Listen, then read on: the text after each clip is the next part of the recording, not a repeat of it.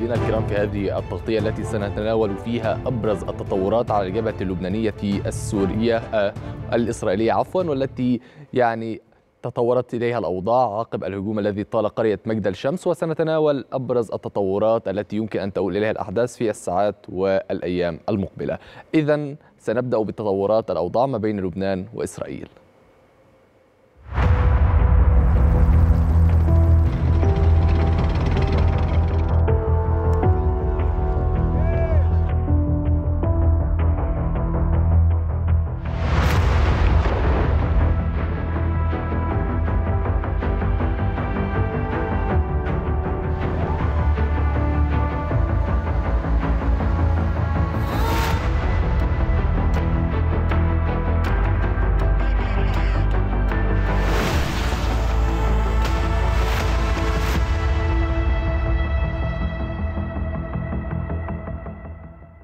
أكد المتحدث باسم قوات يونيفيل أندريا تيتيني أنه جاري التواصل مع كافة الأطراف لمنع اتساع رقعة الصراع بين لبنان وإسرائيل وتهدئة الأوضاع على الحدود اللبنانية الإسرائيلية. وأضاف تاينتيني للقاهرة الإخبارية أن هناك مساحة للحلول الدبلوماسية لحل الصراع اللبناني الإسرائيلي دون اللجوء للحلول العسكرية. لا زلنا نعمل في محاولة إيجاد الحلول الممكنة لأجل إنهاء هذا النزاع بالرغم من الصعوبات المتواجدة والتحديات أيضا. لا أحد يرغب في استمرار هذا النزاع. المشكلة الأساسية هنا هي سوء الحسابات وهو أمر يمكن أن يؤدي إلى تصعيد إلى هذا النزاع وما نفعله حاليا ليس فقط كاليونيفيل ولكن أيضا ككل المسؤولين هو فتح هذه مسارات التواصل مع كل الأطراف لمحاولة منع أي نزاع. أو أي تصعيد لهذا النزاع يمكن أن يؤدي إلى نتيجة مأساوية ليس فقط إلى لبنان وإسرائيل ولكن المنطقة بأكملها. فنحن لازلنا نعمل على أرض الواقع لمحاولة مراقبة هذه الأوضاع. كما أكد المتحدث باسم قوات يونيفيل أندريا تينانتي أن لدى القوات الأممية نحو عشرة آلاف شخص من 49 دولة عضو للعمل على الحدود اللبنانية الإسرائيلية. وأشار تينانتي إلى أن تلك القوات تعمل على تسيير أكثر من 400 دورية بشكل يومي في الجنوب اللبناني وتنسق بشكل مستمر مع الجيش اللبناني بشكل يومي لتخفيف حدة التوترات على الحدود. في الوقت الحالي إن عدد القوات التي لدينا كما قلت حوالي عشرة ألاف أو ما يزيد من كافة الدول هو رقم كبير وهو كافي وهو يظهر مدى الالتزام للدول الأعضاء. 49 دولة للمضي قدما في هذا الالتزام والعمل على التهدئة في الجنوب. الأمر ليس له علاقة بعدد الجنود. فنحن لدينا أكثر من 400 دورية يومية في الجنوب. بدعم من الجيش اللبناني. نحن مستمرون في العمل مع المجتمعات المحلية. ولكن من المهم أيضا والأولوية هنا هو المدى التي تعمل فيه هذه هؤلاء الجنود وأيضا ما يقوم به قادة الجيوش يجب أن كلا الطرفين أن يتحدث مباشرة مع بعضهم البعض الجيش الإسرائيلي ولبنان لا بد أن يكون هناك مسارات للتواصل التواصل لأجل نقل هذه الرسائل. هذا الدور الآن يتزايد. وكما قلت لازال هناك أمل للوصول إلى حل بعد عشرة أشهر من هذا الدمار حول الخط الأزرق. قال وزير الخارجية في حكومة تصريف الأعمال اللبنانية عبد الله أبو حبيب إن لبنان يسعى لتجنب حرب إقليمية وطلب أبو حبيب بضرورة التنفيذ الكامل للقرار الأممي رقم 1701 لإقرار الأمن في الجنوب اللبناني. هذا ما نحاوله بالوسائل الدبلوماسية ألا تكون هناك حرب إقليمية. ألا يكون هناك تصعيد كبير. حتى الآن لم نتلقى شيئا من هذا النوع. أعتقد أنه سيكون هناك القليل من التصعيد لأن الإسرائيليين أنفسهم سوف يتعرضون لهجمات. وإذا هاجموا لبنان فستكون حربا كبيرة وهم يعرفون ذلك. أعتقد أنهم يريدون حل جميع المشاكل دبلوماسيا وهذا ما قاله نتنياهو مؤخرا. أؤكد أن التنفيذ الكامل لقرار مجلس الأمن 1701 سيجلب الهدوء والأمن إلى حدودنا الجنوبية. أكد عضو البرلمان اللبناني غسان حصباني أن الوضع على الحدود اللبنانية الإسرائيلية يشكل مخاطر يترتب عليها زيادة احتمالات التصعيد. وأضاف حصباني للقاهرة الإخبارية أنه لا مصلحة لأحد في توسيع دائرة الحرب على الحدود اللبنانية الإسرائيلية. وضع خطير جدا لا شك أن التصعيد يحصل تدريجيا كما نراه ويعني حتى ولو كان هناك بعض القواعد التي يلتزم بها الطرفين في هذا الاشتباك والتي تختلف عن القواعد السابقة هناك احتمال دائما للتصعيد إما عن سبيل القصد أو عن سبيل الخطأ والتصعيد يحصل بعمليات تراكمية كما نراه يحصل الآن. فمجرد أن أدخل حزب الله لبنان في هذه المواجهة الإقليمية يعني أدخلنا في المخاطر التي يترتب عليها احتمالات تصعيد من من هذا النوع. أجرى وزير الخارجية والهجرة المصري بدر عبد العاطي اتصالين هاتفيين مع رئيس الوزراء اللبناني نجيب ميقاتي ووزير خارجية لبنان عبد الله أبو حبيب بشأن مستجدات الوضع في لبنان. وأعرب الوزير عبد العاطي خلال الاتصالين عن تضامن مصر الكامل مع لبنان ورفضها لأي تهديدات تستهدف زعزعة استقراره أو سلامة شعبه. كما أعرب وزير الخارجية المصري في الاتصالين عن قلق مصر البالغ تجاه التصعيد القائم بين حزب الله وإسرائيل وتأثيراته المحتملة على أمن واستقرار لبنان. وأضاف أن مصر تجري اتصالات مع الأطراف المختلفة بهدف احتواء التصعيد والحيلولة دون انجراف المنطقة إلى حرب واسعة النطاق تهدد استقرار دولها وأمن شعوبها. هذا وأكد ميقاتي وأبو حبيب تقديرهما البالغ لدعم وتضامن مصر مع لبنان في هذا الظرف الدقيق والثقة في أن التحركات المصرية تستهدف حماية مصالح الشعب اللبناني واستقرار دولته.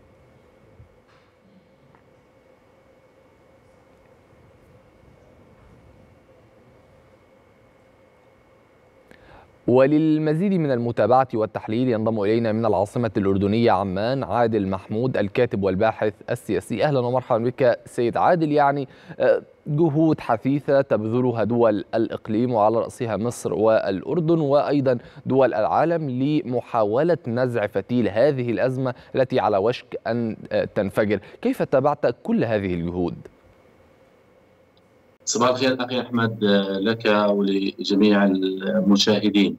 يعني قبل التطرق إلى الجهود الدبلوماسية أو تطرق للتطورات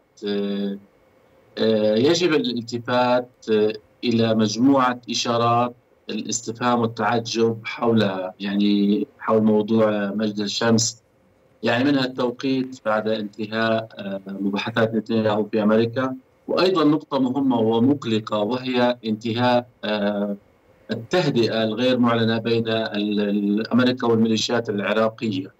هاتين النقطتين أخي أحمد تنبئ يعني أن هنالك حدث قادم، ما هو الحدث أنا من وجهة نظري بعيدا عن الموضوع الخيار الدبلوماسي لأن الخيار العسكري واضح أنه سينجح أننا أمام حرب شاملة تطرق الأبواب بقوة أكثر من ذي قبل حيث كان المخطط أخي أحمد سابقا إشاعة الفوضى في المنطقة وتم التصدي له.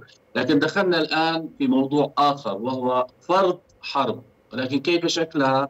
أنا من وجهة نظري أنها حرب متدرجة آخذ الشكل التصاعدي. ومعنى حرب فرض حرب أي أنها تتجاوز قبول إيران لأن إيران هي الأساس حتى لحزب الله.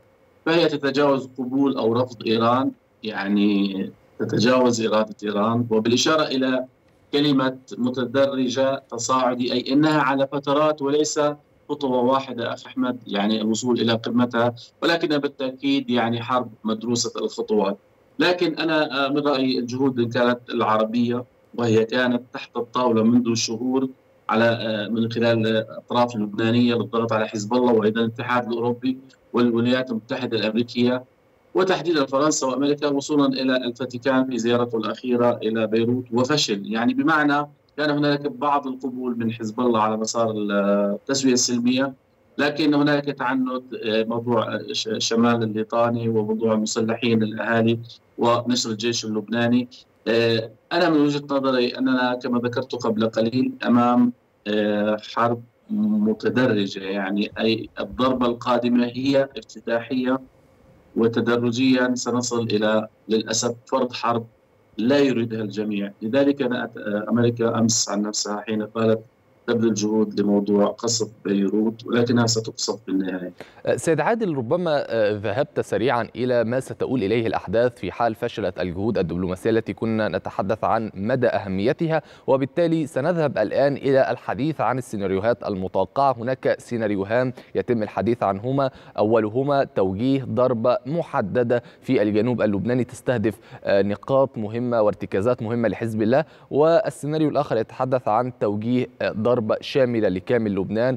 الحديث يدور عن اجتياح بيروت فإلى أي السيناريوهين تميل ولماذا؟ يعني السيناريو الأول ضربة والسلام يعني ضربة ويغض النظر عن مثلا حزب الله وتكتفي إسرائيل بذلك. أستبعد. أنا كما ذكرت هي عملية متدحرجة. يعني السيناريو الأول ربما تكون ضربة ورد فعل من حزب الله. بعد فترة ربما سنذهب إلى ضربات أوسع خارج قواعد الاشتباك لأن ما تم هو صناعة حدث. يعني في مجد الشمس موضوع حدث استخدم للوصول لهدف معين. ما هو الهدف المعين؟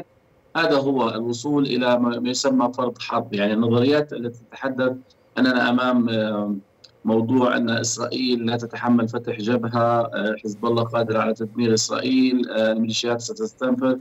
هذا سيناريو أنا من وجهة نظري لنا تجربه في حرب غزة، الولايات المتحدة الأمريكية فشلت في وقف إطلاق النار في غزة، فكيف لها أن تنجح جهودها الدبلوماسية أو توقف السيناريوهات المرجح تحقيقها في لبنان، بمعنى نحن نميل إلى من وجهة نظري يعني اجتهادات شخصية إلى حرب متدحرجة كأنك تصعد إلى السلم لكن بحركة متوسطة، يعني لا تكون من أول يوم هنالك اجتياح للجنوب اللبناني بري أو ضرب البنية التحتية للحكومة اللبنانية، نحن نتحدث عن تفاهمات تمت بين بايدن ونتنياهو والآن نراها على الأرض، لذلك ما قصدت في بداية الحديث.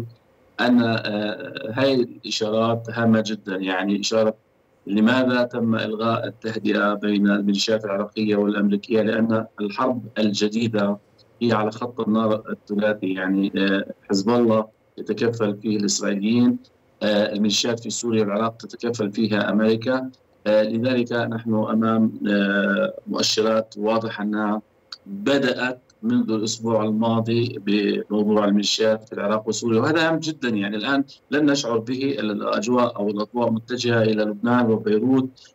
ما هي بنك الأهداف؟ هل ينتظر حزب الله بنك أهداف متحركة قبل الحديث عن بنك الأهداف سيد عادل أريد أن نصل إلى نقطة مشتركة وهي أنك عندما تحدثت عن أي سيناريوهات يقوم إسرائيل باستخدامه في هجومه على لبنان. تحدثت عن سيناريو وصفته ما بين قوسين بالمتدحرج وهو لربما ستبدأ بضربة محددة ويرد حزب الله ويظل هذا التصعيد متبادل إلى أن يصل ربما إلى اجتياح إسرائيلي للبنان. هل هذا ما قصدته؟ يعني أنا من وجهة نظري أننا سنكون أمام ضربة قاسية. يعني تستفز حزب الله لأنه يراد أن يذهب ويجر إلى حرب مع إسرائيل، أنت تعلم استخدم استراتيجية الصبر منذ شهور كان هناك ضغوطات تحت الطاولة أن لا يذهب. ولكن إسرائيل أنا من وجهة نظري نتيجة التفاهمات الأمريكية دعك من التصريحات العلنية للولايات المتحدة الأمريكية أنها لا يجوز أن يكون يعني عدم ضرب المدنيين أو عدم ضرب مطار بيروت أو موضوع بيروت ككل أي الضاحية الجنوبية. نحن أمام خطة يعني أنا من وجهة نظري ذلك أنا قصدت ان أن ما يجري كان معد بشكل أو بآخر بغض النظر حادث مجرى الشمس مقصود أو غير مقصود لكنه الأهم التفاهمات التي جرت. هل الولايات المتحدة الأمريكية أعطت الضوء الاخضر لبنك أهداف مفاجئ للجميع؟ نعم لأن ما يجري هو في الحقيقة تم التمهيد له بدا من حركة الطيران الألمانية منذ شهر وصولا إلى موضوع أنت تعلم إخراج الرعاية بهذه الطريقة، الاسطول البريطاني العسكري يريد إخراج الرعاية البريطانيين. ليست موضوع يوم أو يومين اجلاء يعني ما تم من حركة أممية وأنت تتحدث من المتحدة لدول تتحدث عن مخاوف نعم سيد عادل ليست هذه هي المرة الأولى التي تقوم الدول بتحذير رعاياها من يعني التواجد في لبنان وأن الأمر أصبح خطيرا. إلى جانب أيضا أنك تتحدث عن أن هناك تفاهمات ما بين إسرائيل والولايات المتحدة حول أن هناك ضوء أخضر لتوجيه ضربة للبنان. وهنا ربما يريد قائل أن يرد على هذا الحديث بأن الولايات المتحدة ليس من مصلحتها إشعال هذه الجبهة وما يمكن أن يعرض مصالح في المنطقة سواء في الخليج العربي أو في البحر الأحمر الميليشيات ما يسمى بوحدة الساحات ربما ستستهدف من خلال اليمن وأيضا في العراق وسوريا ستستهدف هذه الجماعات المصالح الأمريكية وبالتالي ربما الولايات المتحدة ستتأثر وهو ما يجعلها غير راغبة في إشعال هذه الجبهة. يعني أخي أحمد لنبسط على المشاهدين. وارد هذه الأراء أن الولايات المتحدة الامريكيه لا تريد هذا في الإطار العام. نحن نتحدث من أرض الواقع. إلى اليوم إلى اليوم التصريحات الأمريكية لا نريد تصعيد إقليمي وتم التصعيد من موضوع عملية حارس الإزدهار في البحر الأحمر وتضرر اقتصاد العالم وصولا إلى وقع المحظور تحدثت كثيرا في القاهرة الإخبارية منذ شهور أننا أمام حرب ميليشيات إقليمية ذريعة غزة لكن الهدف الاستراتيجي هو مصالح أمريكية ودولية بموضوع الحرب الجديدة لترتيب الشرق الأوسط لموضوع غايات ستظهر لاحقا. نحن يهمنا الأفعال الأمريكية. يعني صناع القرار في الشرق الأوسط أو غير الشرق الأوسط يعون تحت الطاولة.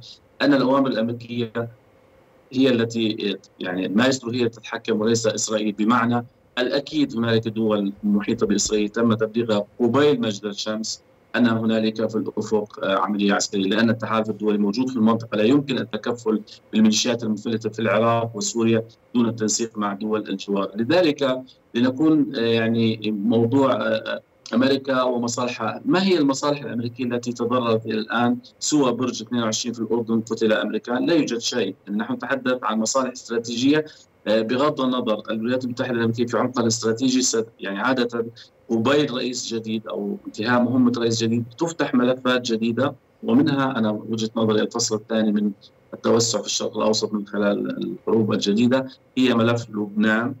بغض النظر يأتي ترامب يسلم غزة إلى إسرائيل. الموضوع أنا من وجهة نظري أن الولايات المتحدة الأمريكية لا تقول الحقيقة وعلى الأرض الواقع ما يتم الآن وهو فتح جبهة لبنان. تستطيع الولايات المتحدة الأمريكية لا لو أرادت منذ بداية حرب غزة عدم التصعيد لو أوقفت حرب غزة ولما وصل الأمور إلى موضوع حارس الازدهار البحر الأحمر واقتصاد العالم. واليوم تجر الولايات المتحدة الأمريكية إيران طالما إيران أمام معادلة أو خيار لابد من حرب تجرها إلى بلاد الشام من خلال حرب لبنان. لماذا؟ لأن إيران تريد الحرب طالما هي واقعة واقعة في البحر الأحمر أفضل. لذلك حاول الحوثي استفزاز إسرائيل مع أني أشك أن عملية تل أبيب كما عملية مجد الشمس يعني هناك علامات استفهام. تم السماح لطائرة المسيرة في قصف تل أبيب وموضوع مجد الشمس هي تدخل في دائرة صناعة الحدث للوصول إلى الذريعة وهي أمام مشهد فتح خارج قواعد الاشتباك التقليدي بين حزب الله إسرائيل، لذلك الولايات المتحدة الأمريكية هي العقل المدبر للأسف لا طالما أتيت على ذكر يعني قواعد الاشتباك سيد عادل هنا تساؤل مهم للغاية، هل ما زلنا يعني نتحرك الآن أو تحديدا يتحرك حزب الله وإسرائيل في ضمن قواعد الاشتباك أم أن الوضع وتحديدا بعد ما حدث في مجد الشمس قد خرج عن ما يطلق عليه قواعد الاشتباك؟ يعني أخي أحمد بدون التهويل نحن نتحدث عن ما بعد يعني الساحة اللبنانية مع شمال إسرائيل. انتهى ما قبل مجد الشمس. يعني ما بعد مجد الشمس نحن أمام قواعد اشتباك وهي أصلا خطة مدروسة دوليا وتأخر نتنياهو في تطبيقها. لاحظ يعني الدعم العسكري الاسرائيلي الاسرائيل من قبل أمريكا الجديد هو ليس لغزة.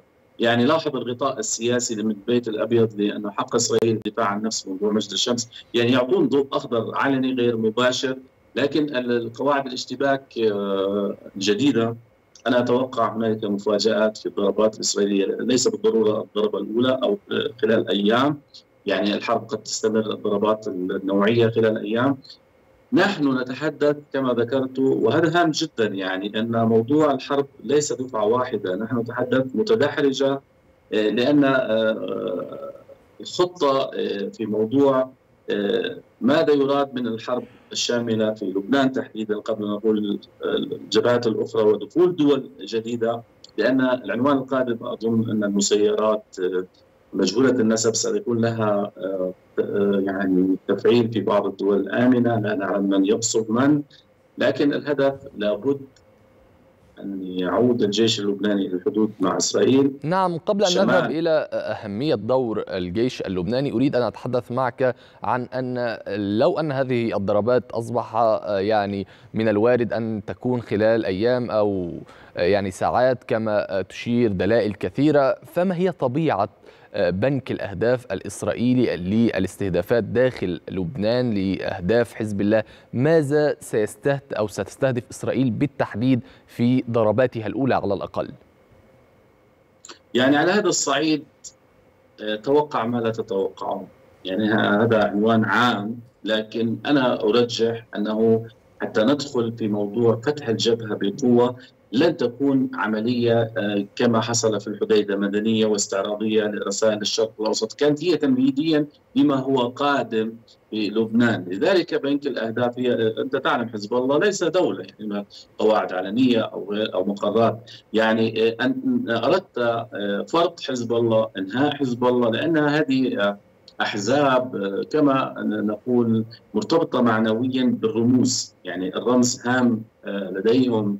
ليست يعني ميليشيات أو نقول حركات لها ديمومه يعني منذ نشأة حزب الله حسن نصر الله وحسن نصر الله هم يعني الرمز المعنوي. لذلك أنا من وجهة نظري إذا كان الهدف الاستراتيجي إنهاء حزب الله كما حماس يعني حماس بدأوا تدريجيا من البنية التحتية لم يصلوا إلى الرموز إلى الآن تركوهم إلى آخر شيء إلى الحل السياسي. وقادرين يصلوا إلى موضوع الرموز في حماس. لكن المعادلة مختلفة من وجهة نظري. على بنك الاهداف قد يبدأون من الفوق إلى تحت في موضوع حزب الله. لأن القوة الجوية أو نقول الذكاء الاصطناعي أو داتا المعلومات وانت تعلم لبنان مخترق منذ زمن. لذلك هنالك مفاجآت في الضربات إن لم تكن في الجولة الأولى بعد أسبوع أسبوعين الأهم ردود الأفعال. هل حزب الله يستوعب الإشارة الدولية أنه يراد إذا ذهب إلى قصف تل أبيب نحن نتحدث عن اشتعال فوري يعني لردود الأفعال. لكن الولايات المتحدة الأمريكية هل إسرائيل تتخذ قرارات بهذا الحجم أي ضرب بنك أهداف عالية المستوى دون تنسيق؟ ما جرى أمس بين أوستن ووزير الدفاع الإسرائيلي أنا أرجح أنه تم الاطلاع الامريكان الأمريكان على الأهداف الحقيقية. لذلك ربما الضربة الأولى صادمة هي تفتح آفاق لما ذكر أي العملية المتدحرجه وفرض العملية هذا الجديد في السيناريو تغير السيناريو منذ ثمان شهور اليوم فرض حرب. يعني إيران لا تريد لذلك ذهب الرئيس الإيراني للتحدث مع ماكرون وأعطاء نقول يعني هدية للفرنسيين للتحرك موضوع الإفراج عن الرهان الفرنسيين الثلاث. الحديث الأهم تداعيات بنك الأهداف الجديد الذي سيقصف من قبل اسرائيل حين تقول أنا يعني أخذ الكلام الاسرائيلي نعم سيد عادل ربما حديثك فيه نقاط كثيرة مثيرة للاهتمام والنقاش وأريد أن أفند بعضا منها. تحدثت عن أن حزب الله ليس دولة. ولكنه نستطيع أن نقول أقوى جيش غير منظم في العالم.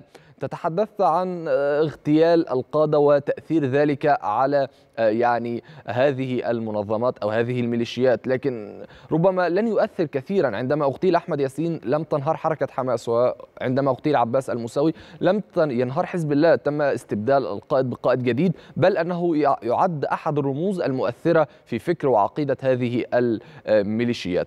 إذا أريد أن أتحدث معك أيضا عن نقطة مهمة للغاية وهي المتعلقة بأن الوضع في لبنان والساحة في لبنان مغايرة تماما عن قطاع غزة ربما سيكون مستنقع كبير تغرق فيه إسرائيل إن قامت بذلك الاجتياح. يعني تعليق بسيط لا نريد ندخل بالفلسفة الأيديولوجيات. موضوع أحمد ياسين يختلف عن لبنان. الفلسطينيين لديهم قضية.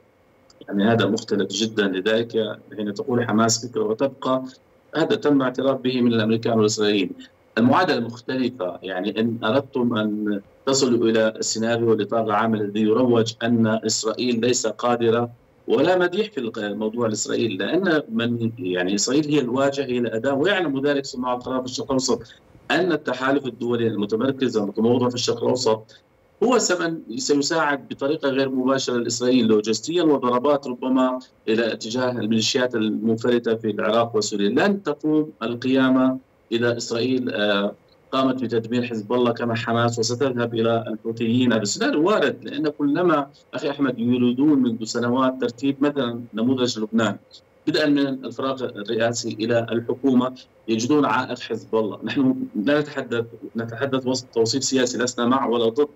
يجدون المجتمع الدولي وضع لبنان على يعني ملف على طاولة طاولة المجتمع الدولي مختلف عن الصراعات اللبنانية التقليدية، لذلك الزعامات اللبنانية الآن تائهين لا يعرفون التصرف. كيف المخرج؟ يذهبون تارة من خلال الجهود العربية المصرية والأردنية والأوروبية إلى بادرة مبادرة مثلا رئاسة قبل وقف إطلاق النار، يأتي الفاتيكان يريد فصل غزة عن بيروت، يفشل. دبلوماسيا. نعم. الجديد أنا من وجهة نظري أن إسرائيل بالصمت الدولي الذي حصل وشرعنت الإبادة في غزة أعطاها نوع من القوة. لذلك الصمت الدولي لديه علامات استفهام.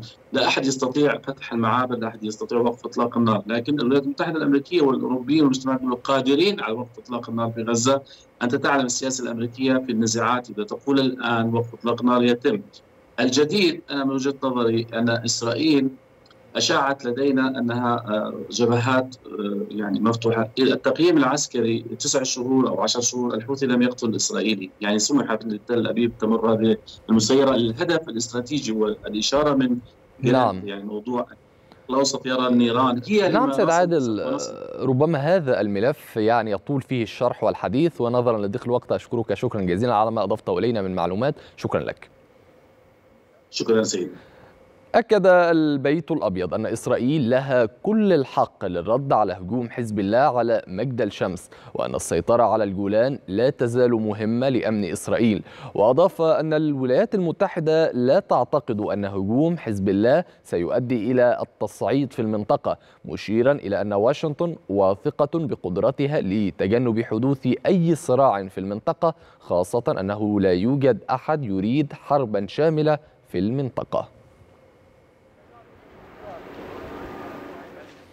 أكدت الخارجية الأمريكية أن الولايات المتحدة ترى أن الحل السلمي على الجبهة اللبنانية هو الأفضل وأضافت أن الولايات المتحدة ستستمر في التواصل مع المسؤولين اللبنانيين والإسرائيليين بهدف الوصول إلى حل دبلوماسي. كما أشارت إلى أن وقف إطلاق النار في غزة قد يساعد في تخفيف التوترات على طول الخط الأزرق.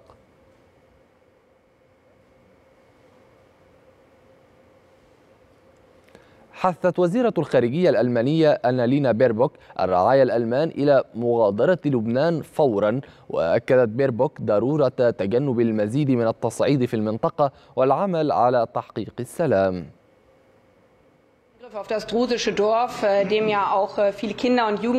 إن شعوب الشرق الأوسط والمنطقة بحاجة إلى السلام وجميع دول العالم يجب أن تعمل معا لتحقيق هذا السلام في الشرق الأوسط. لقد قدم الرئيس الأمريكي جو بايدن خطة سلام لهذا الغرض وتجري مناقشتها منذ بعض الوقت.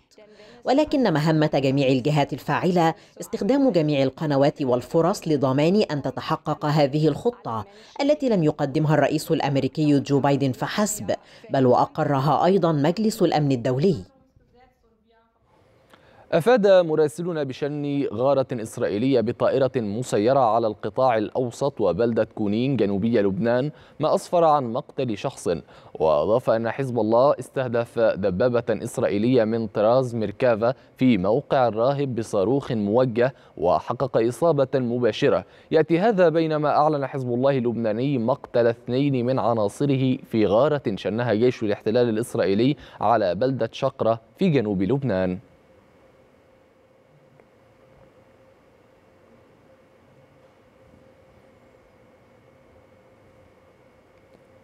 استشهد عدد من الفلسطينيين وأصيب آخرون فجر اليوم الثلاثاء في قصف للاحتلال استهدف مدينتي خان يونس وغزة وأكدت مصادر صحية استشهاد عدد من المواطنين في قصف إسرائيلي استهدف منزلا في بلدة عبسان الجديدة شرق خان يونس جنوبي قطاع غزة.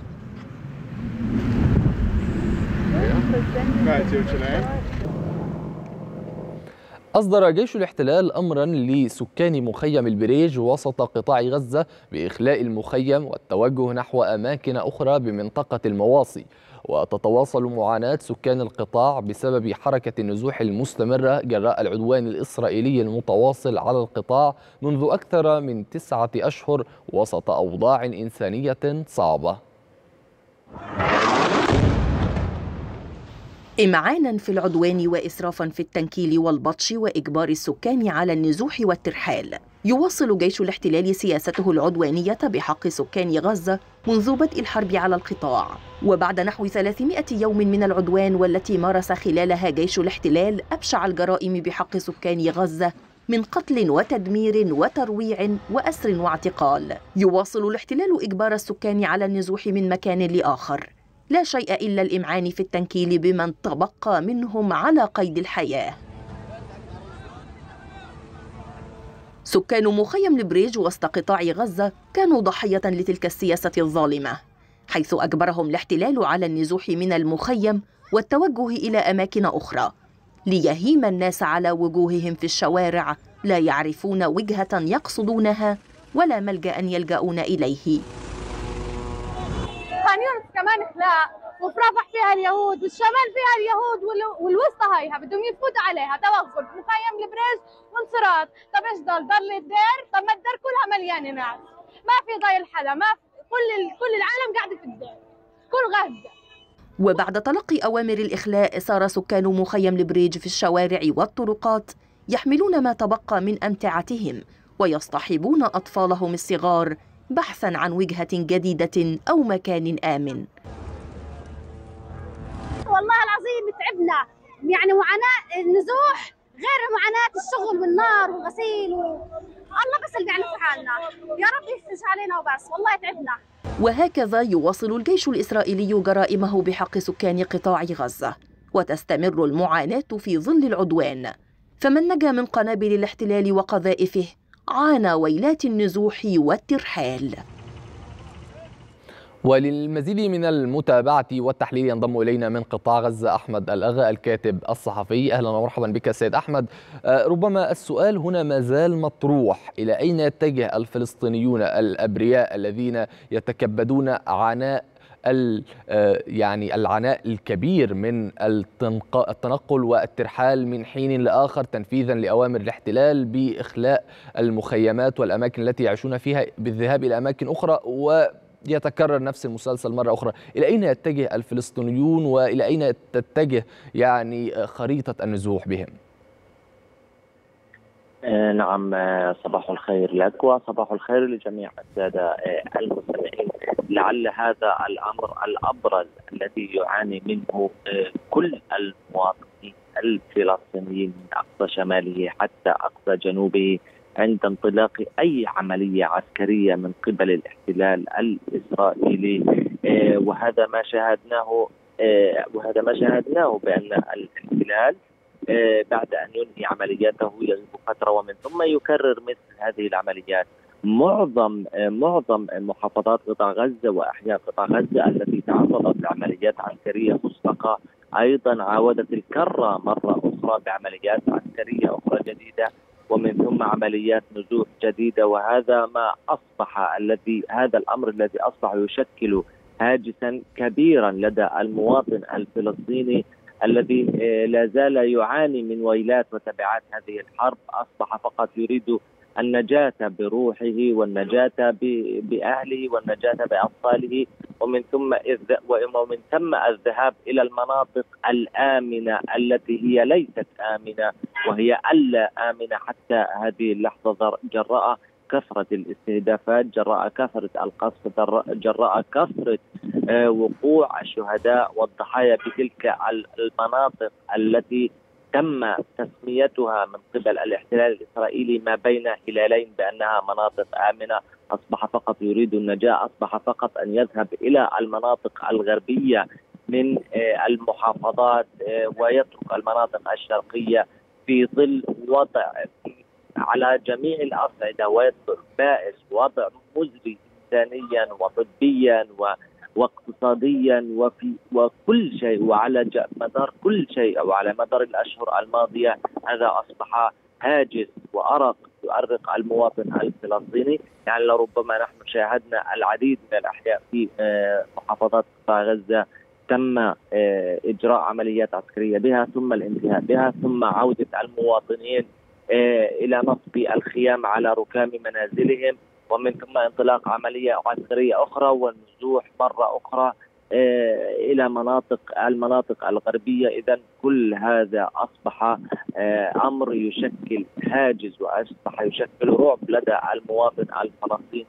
في ظل تكرار هذه العمليات من قبل الاحتلال الإسرائيلي في الآونة الأخيرة وهذا ما أيضا ما شاهدناه في شجاعية شرق مدينة غزة ما شاهدناه أيضا في بني سهيلة والمناطق الشرقية لمحافظة كان يونس التي تراجعت الآليات عنها منذ في ساعة متأخرة من الامس ومنذ صباح هذا اليوم عاد المواطنون إلى خيامهم وإلى نصب خيامهم مرة أخرى إلى تلك المنطقة. بعد أن شهدت دمارا وقصفا واسعا ومكثفا من قبل الاحتلال الإسرائيلي ومقاومة شرسة من من قبل المقاتلين الفلسطينيين على مدار الثمانية أيام ماضية بعد انطلاق عملية عسكرية هناك في تلك الأحياء. نعم يعني أستاذ أحمد في ظل هذا الاستمرار من قبل قوات الاحتلال في استهداف الفلسطينيين وإيقاعهم بين شهيد وجريح، ماذا عن آلية عمل المستشفيات والمؤسسات الصحية في قطاع غزة وعمل سيارات الإسعاف؟ لو تعطينا صورة عامة عن آلية عمل هذه المؤسسة. المؤسسات الصحية هي بالأساس مؤسسات مهترئه تعمل الآن بأقل الإمكانات المتاحة وتعمل أيضا بالطرق البدائية في ظل نقص الإمدادات الطبية، نقص الإمدادات الإمدادات الدوائية، نقص كل ما يتعلق بالمستشفيات، نقص كل ما يتعلق بالأدوية وبأدوية التخدير ونقص الأسرة ونقص أيضا أجهزة الأشعة ونقص أيضا أجهزة العناية المكثفة علنا أصبحنا نشاهد بأن الإصابات التي تتوافد وتصل تباعا إلى تلك المستشفيات التي لا زالت تعمل بأقل الإمكانات يتم علاجها على الأرض نظرا لنقص العديد من الأجهزة والعديد من الأسرة. هي أيضا في وضع لا يحسد عليه رغم قلة الإمكانات إلا أنها لا زالت تعطي وتعمل وتقدم الخدمة الطبية رغم الصعوبات التي تواجه تلك المستشفيات رغم نقص الكادر الطبي رغم نقص الإمدادات الطبية رغم نقص كل شيء الا انها لا زالت تعمل بأقل الإمكانات وتعمل بالطرق البدائية لكي تحافظ على حياة المواطن الفلسطيني الذي أصيب جراء تلك الحرب المستعرة وتلك الصواريخ التي أصبحت لا تفرق بين طفل وشيخ وامرأة وكل أيضا وشاب يقدم تلك الخدمة لكي يحافظ على حياة المواطن الفلسطيني رغم ما تحدثنا به أيضا الإسعاف يعاني أيضا يعاني من الوصول في المناطق الخطرة التي أيضا يكون متواجدين بها إصابات ملقاة على الطرقات يعاني للوصول نظرا لكثرة وتعدد استهدافات للاسعافات في الآونة الأخيرة من قبل قوات الاحتلال الإسرائيلي. سيد أحمد وماذا عن المؤسسات والمنظمات الإغاثية الدولية آلية عملها هل ما زالت هناك أي فرق عمل إغاثة دولية وكيف تعمل في ظل هذه الأوضاع السيئة والكارثية للغاية؟ نعم هناك بعض فرق الانقاذ الدولية بعض الفرق التي كانت لكن توقفت عن العمل بسبب تعدد وكثرة استهداف قوات الاحتلال لها إلا أنه لا زال هناك بعض الفرق الدولية التي تعمل مثل الغذاء المطبخ العالمي منظمة الغذاء لكن تعمل بحذر شديد تعمل بحذر شديد في هذه اللحظة نظرا لخوفها على طواقمها بعد الاستهدافات المتكررة من قبل الاحتلال الإسرائيلي إلا أنها لا زالت تقدم الخدمات الغذائية للمواطن الفلسطيني في الأخيرة لكن بحذر شديد وذلك لكي تبتعد عن الاستهداف تبتعد عن لأنها قبل ذلك كانت قد استهدفت وكانت قد قصفت من قبل طائرات الاحتلال الإسرائيلي وكما شاهدنا منذ فترة عندما قصف المطبخ العالمي وكيف توقف فترة عن العمل ومن ثم عاد إلى العمل لكن بحذر شديد في تقديم الخدمة للمواطن الفلسطيني وتقديم الغذاء. لكن كما تعلمون بأن جيش الاحتلال الإسرائيلي أصبح لا يفرق لا بين فلسطيني ولا بين أجنبي ولا بين مؤسسة اغاثيه تعمل لصالح الشعب الفلسطيني. على كل الأحوال أشكرك شكرا جزيلا سيد أحمد كنت معي من قطاع غزة على ما أضفته إلينا من معلومات حمل مكتب رئيس الوزراء بنيامين نتنياهو قيادة حماس مسؤولية عدم التوصل إلى الاتفاق لوقف إطلاق النار وإطلاق سراح المحتجزين وزعم أن إسرائيل لم تغير أو تضف أي شروط في حين طالبت حماس ب 29 تغييرا ولم تستجب للمخطط الأصلي حسب قوله.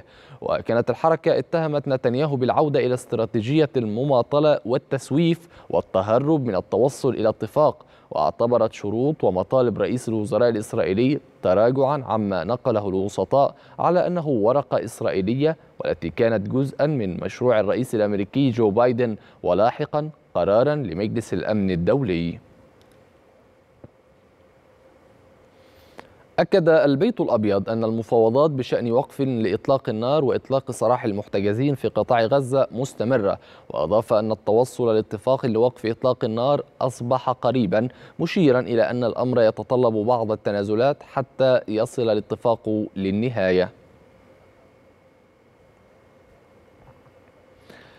ومن فرجينيا ينضم إلينا محمد العالم الكاتب والباحث السياسي. أهلا ومرحبا بك سيد محمد. يعني نتنياهو يتهم حماس بأنها هي من تعرقل الجهود الرامية لاستكمال جولة المفاوضات في حين الجميع يشاهد نتنياهو وهو يعرقل الجهود بوضع شروط ربما تكون مستحيلة منها الإبقاء على القوات الإسرائيلية في محوري فيلادلفيا ونتسريم كيف اذا تابعت ذلك؟ نعم أهلا بك وبالسادة المشاهدين. يعني كما تفضلت أنت بالقول أن يعني الجميع يعلم أن نتنياهو هو الوحيد الذي يعرقل يعني أمد هذه المفاوضات ويعتبر هو المستفيد الأوحد حتى الآن من استمرار المفاوضات على هذه الشاكلة حتى إنه يعني انتظر أوقات معينة معلومة داخل إسرائيل بأن الكنيست يكون في عطلة رسمية فيها وعطل يعني المفاوضات حتى يمد أمد هذه الحرب. أعتقد أن كل الأطراف العالمية بما فيهم حتى الداخل الإسرائيلي يعلم ذلك جيدا. لكن للأسف بعض الظروف تخدم مخططات نتنياهو على سبيل المثال يعني الحرب الحالية المتوقعة على لبنان والتي بررها الداخل الإسرائيلي بفكرة العملية الأخيرة أو سقوط سقوط الصاروخ في الجولان المحتلة منذ أيام كل هذه الأمور تخدم هذا المخطط لأن نتنياهو دائما ما يلعب على فكرة الوجود الإسرائيلي والتهديد الوجودي لاسرائيل وفكرة حق الرد وبالتالي يطيل أمد هذه الأمور. أنا أعتقد إنه حتى الآن نتنياهو يعني مستمر ونجح فعليا في إطالة أمد المفاوضات وأعتقد أنه سيطيلها أكثر حتى يعني التصويت في الانتخابات الأمريكية القادمة. لأنه له مساعي معينة وأمال معينة أهمها فكرة فوز المرشح الجمهوري دونالد ترامب الذي بالتأكيد نتنياهو سيحصل من خلاله على فوائد عدة سياسية شخصية له تمكنه يعني من استمرار مؤقتا أو على الأقل تجنب فكرة يعني المحاكمات إذا محمد إلى أي مدى إلى أي مدى سيقوم ترامب في حال أصبح رئيسا للولايات المتحدة بتدعيم نتنياهو وإعطائه أكثر مما أخذ؟ أعتقد إنه إلى مدى غير محدود من المعروف عن ترامب أنه كان لديه مخططات معينة لهذه المنطقة وأنه شخصية اندفاعية نوعا ما. هذا الاندفاع يعني وضح جليا في قرار نقل السفارة الأمريكية إلى القدس والإعتراف بها عاصمة كل يعني أعتقد أن على نفس هذا المنوال من من الممكن أن نرى على سبيل المثال تدخل مباشر لقوات أمريكية في قطاع غزة تحت بند إنهاء هذه الحرب وبالتالي يكون نتنياهو قد وصل إلى ما يريد هو فكرة تدمير القطاع بأكمله ثم غياب سيناريو حل الدولتين. أعتقد أن ترامب هو الشخص الأمثل لتنفيذ هذا المخطط. أيضا لا ننسى أن لترامب يعني قضية مهمة وهي فكرة الاتفاقات الإبراهيمية التي بالتأكيد سيسعى إلى إتمامها ولإتمامها لابد أن ينهي ملف قطاع غزة. وكما قلت يعني إنهاء هذا الملف سيأتي في صالح نتنياهو لأنه سيباهي الشعب الإسرائيلي بفكرة تدمير القطاع نعم سيد محمد كما تعلم دونالد ترامب هو رجل أعمال ذكي يعرف كيف يقوم بالحسابات السياسية. هو لديه مصالح مع الدول العربية الهامة والمؤثرة في المنطقة منها دول الخليج العربي مصر. وكل هذه الدول ترفض أي حل للقضية الفلسطينية سوى حل الدولتين ولا تقبل بأي مبدأ آخر. فهل يجازف دونالد ترامب بمصالح الولايات المتحدة المهمة للغاية مع دول المنطقة لصالح تنفيذ الأجندة الإسرائيلية؟ إن استطاع أصلا بنيامين نتنياهو القيام بتنفيذها؟